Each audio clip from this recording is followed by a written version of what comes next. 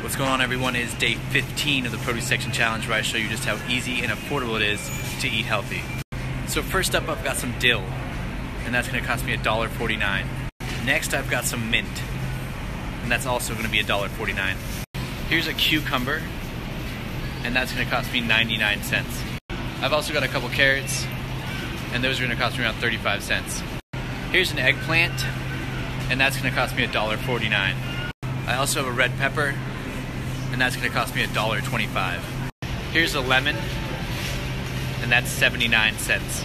I also have a couple shallots, and those are going to cost me around 65 cents. So here's some potatoes. These are gold potatoes, and they're going to cost me around $1.50. I also have a clove of garlic, and that's going to cost me 50 cents. Here's a can of garbanzo beans, also known as chickpeas, and those are going to cost us $1. Let's add in some fruit. So here's a banana, 18 cents. Mangoes are still on sale, so that's to cost us 67 cents. So the last thing I got is a grapefruit, and that's to cost me 99 cents. So I've got a basket full of food. Let's see how much this is to cost us.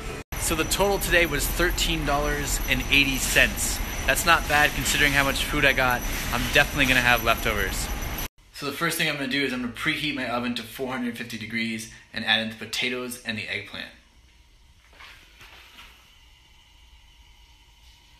I'm also going to add a clove of garlic to the oven. Next, I'm going to dice my cucumber and add it to the bowl. Then I'm going to add my red pepper to the bowl. I'm also going to add in my shallots. Now I'm going to add in some mint to my shallots, peppers, and cucumbers. Now I'm going to squeeze half of my lemon into the bowl. I use a strainer to catch any of the seeds. I'm then going to add some fresh ground sea salt and stir my salad. Next, I'm going to add my potatoes with a little bit of garlic and some filtered water to the pan. When my potatoes are almost finished, I'm going to add in some fresh dill and some salt to add some flavor.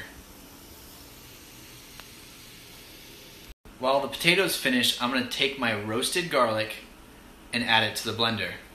Next, I'm going to add chickpeas to the roasted garlic.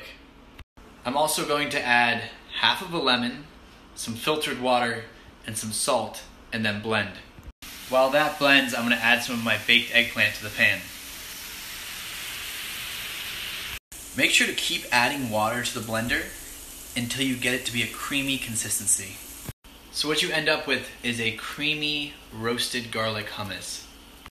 So I cook my eggplant until it gets nice and charred on the bottom. So next I'm to top my crispy eggplant with some of that homemade hummus and some fresh dill. I'm then to chop up my carrot and add it to some of my leftover red pepper.